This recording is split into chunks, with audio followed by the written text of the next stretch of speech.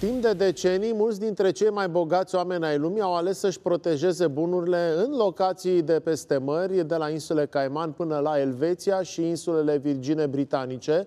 Dar acum un nou centru de bogăție s-a mutat în plin deșert, el devenind foarte popular printre miliardarii lumii uh, ruși, americani, indieni. Este vorba despre Abu Dhabi.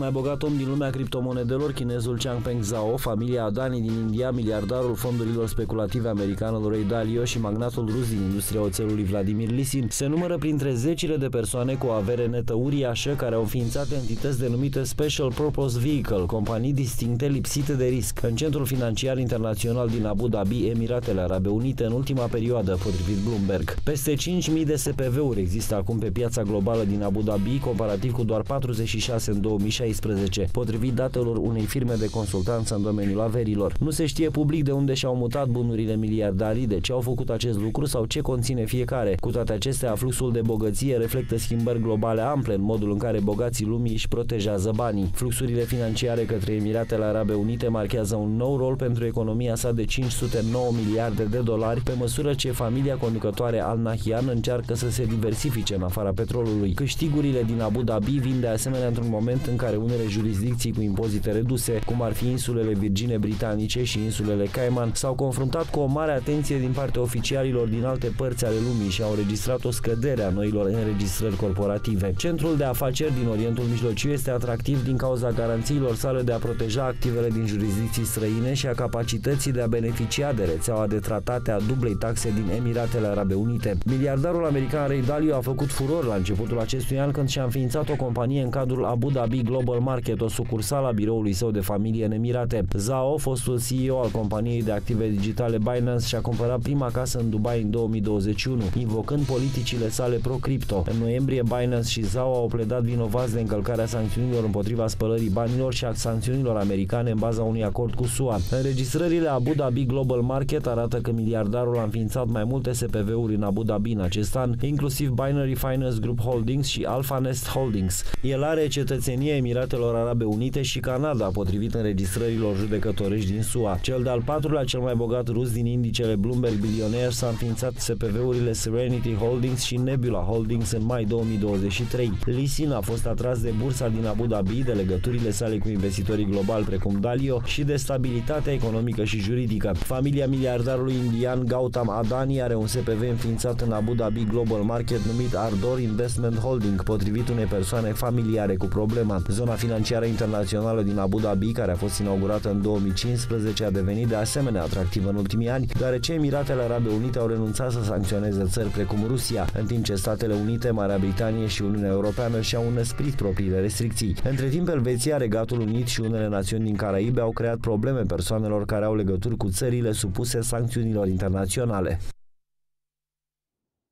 Bun, deci, practic, se mută din alea consacrate de tip insulele Cayman, din Elveția și din alte părți și se duc în Abu Dhabi, uh, Mircea. Da, totuși domnul Zhao, ăsta care era de la Binance, da. așa, ăsta totuși deci, își ține bani în bănci, credeam că are cripto. Adică dacă Acum, tot are Binance, ține... am crezut că e pe cripto. Da. Cum e? Da, ăștia Ce cu foarte, cu... foarte mulți bani nu au, uh, uh, să zic, depozitele diversificate și investițiile? Sigur adică da. sunt absolut convins da, că ce da. depozite au, nu vezi? Sunt absolut convins că și da. în cripto, Dar nu și ne mai da imagini de astea, că asta, uite, toate știrile astea, sau, astea ne fac rău. Da. Adică, de ce? Păi, ne-a pus pe gânduri. Da. Cum era aia? Cum, cum, Cât în mod normal da? ar fi trebuit să fim bogați. Cum era? Vă explic eu de ce. De, deschide și tu un SPV da. de la acolo în Abu Dhabi. Uite, uite Răzvan, spune domnul Vă explic eu de ce. Vedem da. uh, iahturile, vedem oamenii cum beau șampanie și eu n-am căldură acasă. Păi, Nici aici căldură, e nici apă primarul- caldă. Primarul Nicu Deci Șordan. puteți avea șampania la rece. Deci, Pentru că nu aveți căldură acasă. Înainte, faptul că stăteai în sectorul 1 era un avantaj. Acum e cel mai mare dezavantaj pentru un Deci nu bucureștean. puteți să spunem sărbători călduroase. Nu avem cum să Nu. facem această urare. Uh, Acolo, oricum, se rezolva, clima e propice, nu aveai treabă. Uite, Nicu Șordan putea să fie primar de succes acolo, nu avea treabă cu încălzirea centrală. În Arabia Dar, atenție, Saudită e plin de agent Vă mai termic. semnalez ceva. Dar și ei stau cu ligheanul paragaz ca noi ca să fie apă